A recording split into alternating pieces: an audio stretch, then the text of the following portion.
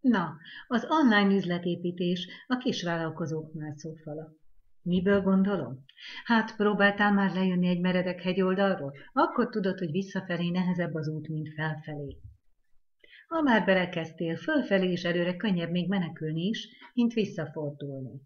Bár nem mindig ott vannak a kapaszkodók, ahol szeretnénk. De a vállalkozás mindig is fal lesz. Jobb formában tartani magadat. Mert kik lesznek a 21. század analfabétái? Képzeld, nem azok, akik nem tudnak írni és olvasni, hanem azok, akik nem tudnak tanulni, és nem tudnak újra tanulni. Hát ezért, és azért, mert a valódi vállalkozók tudják, hogy az ügyességet nem lehet mindig ügyeskedéssel helyettesíteni. A vállalkozásban az egyetlen út előre és fölfele. Gyere te is velünk!